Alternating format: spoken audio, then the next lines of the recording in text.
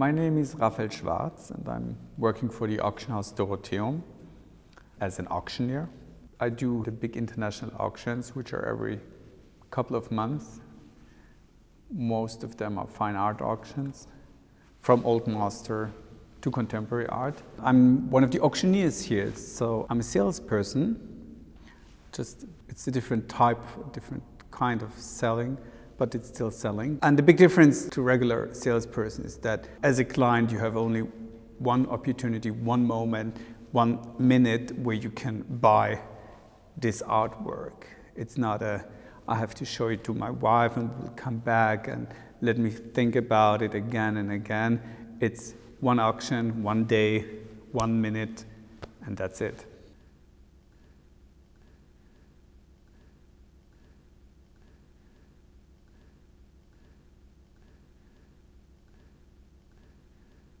It was an old master painting, um, Frans Francken II, Dutch painter. The starting price was something like 200,000 euro and we sold it for 7 million. This was great. I was standing there at the stage and I wasn't sure if I should laugh or if I should, yeah, whatever. Yeah, it was a 15 minutes just for one painting. Can you imagine that? Normally you sell 100 paintings in an hour if you do a quick auction. And it was just 15 minutes for one painting. But it was a masterpiece. And it went very slow from the 200,000 up to a million. Then quite quick to the 2 million, and then it went very, very slow, but constantly up to this 7 point something million. It was the highest price ever paid for an artwork in Austria. The 200,000 was the actual art market price for Frans Francken at that time. Nobody ever paid more for Frans Francken II. So we knew that this is a masterpiece. We, we had this um, consigning day, so we call it Specialist Day, Consigning Day in Berlin, and, and very old man, 90 plus, came to us with a very bad photography of his living room. Just in the very back of this very bad photography you saw the painting said, I want to sell this. Yeah? And our specialist said, well, I need to see an original because I hardly can recognize what it is. But he saw the painting said, it looks good. Yeah? So he went to this old gentleman's home and there he saw the artwork and he, our specialist was from the very first moment very impressed. And it was signed, it was in perfect condition, there was never a chimney in this room, there was nobody smoking in this room. Um, it was a perfect condition. And then they found out, because it was signed, I guess, that it was Frans Francken II, and then they consulted Frans Francken specialists worldwide. And, and it was always mentioned in literature that there is a masterpiece of Frans Francken, but there was no photo. So, yeah, we found this masterpiece. And then the first price we uh, thought about was like, I think 50,000, 60,000. And then our specialist said, no, no, we have to start with a higher price. And then he called this, this gentleman and said, okay, we're probably planning to do a um, starting price in our catalog for 200,000. And the gentleman said, oh my God, if I would ever see a cent out of this artwork, it would be great. So after the auction, it was quite interesting how to contact a 90 plus old gentleman and giving him the information that he's a millionaire now without yeah, shocking him. But he was quite cool. The moment was the million because I met a couple of hours before the auction the old master specialist from our house, um, uh, Dr. Alexander Strassoldo, who is a specialist here at Dorotheum, in, the, in our coffee house in the second floor here in this building. I don't know why, because I never do it. I said, so how much do you expect? Yeah?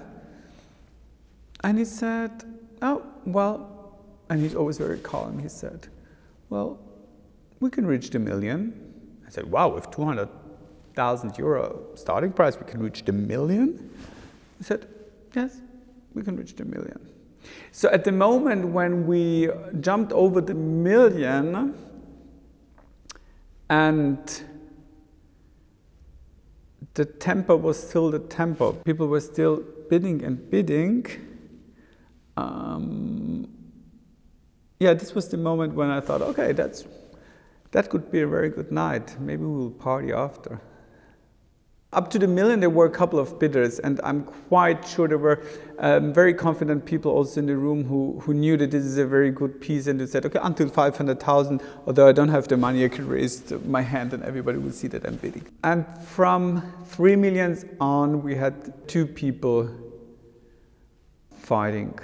You have always these moments when when you see the faces and when, when you see a couple sitting next to each other and, and holding their hands and bidding and bidding and you see him or her or him or him or her or her grabbing their hands and, and, and then when they got the artwork they kiss yeah?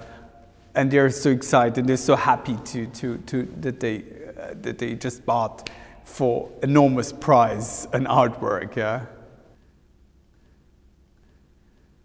I would divide my job in three time periods. First is the months before the auction, knocking on the potential buyer's door and try to get them into these auctions, to get them closer to the artworks, um, and at the end of the day, to get them to be on the phone, to be online, to be in the auction room. Time-wise, the second part is the auction itself, where I'm the auctioneer.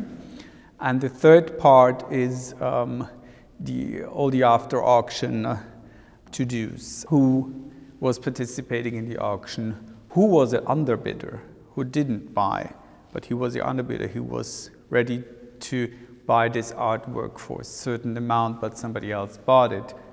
Who are these people?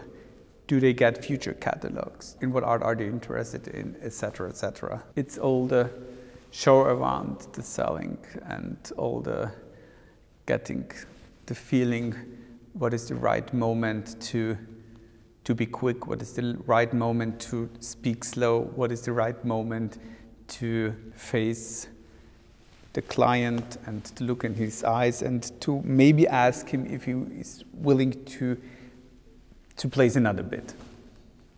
Finding the right the correct moment. It's a very personal moment, yeah, and you have to decide very quick whether to approach again to the underbidder and ask him if he wants to place another bid or not yeah? Because you on the other side you don't want to make him feel making you, you don't want because he's not sitting alone in the room. He's sitting in the room with another 100 clients yeah? And you don't want to embarrass him yeah? That he has to say again no for any reason. Yes yeah, so um, finding the correct moment and um, doing the right thing and you have only one, two seconds to decide so, um, is not easy. But you learn it on the job. The first 10, 15, 20, or 30 auctions, I didn't do it at all, approaching again to an underbidder.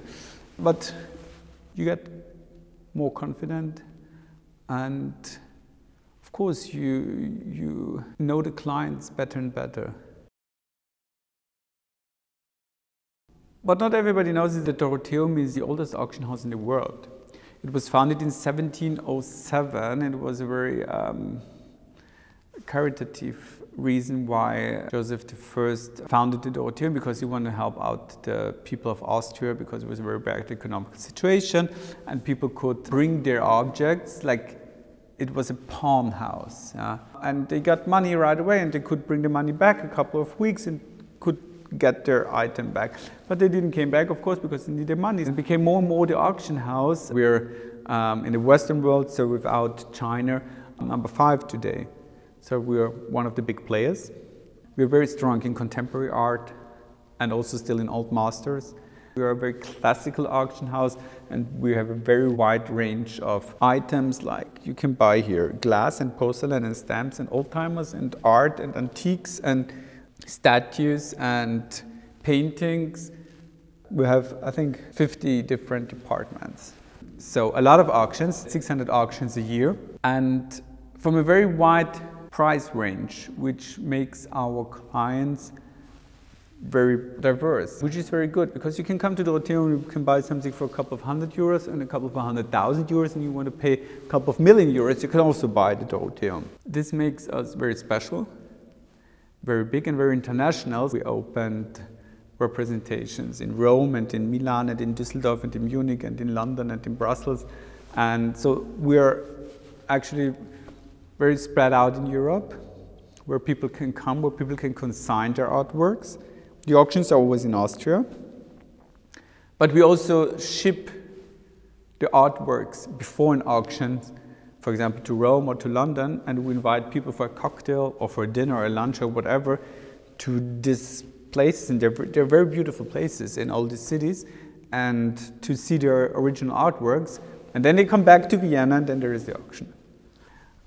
The very interesting thing in an auction house, I always say it's a short time museum. You can come every single day to the auction house and you see something different on display. We want to present the original item, we want to give the people the opportunity to see the original item. So we have huge gallery rooms where we bring the objects a couple of days before the auction's in. We place them very nicely. It's really curated sometimes. You see rooms.